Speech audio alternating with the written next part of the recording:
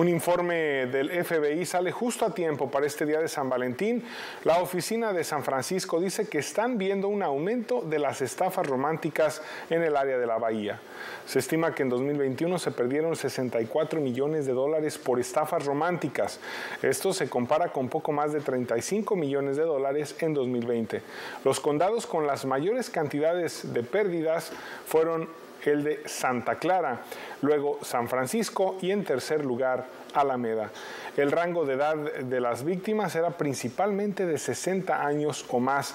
Los estafadores románticos tienden a persuadir a la gente, principalmente por aplicaciones de citas, para que envíen dinero para invertir o negociar con criptodivisas.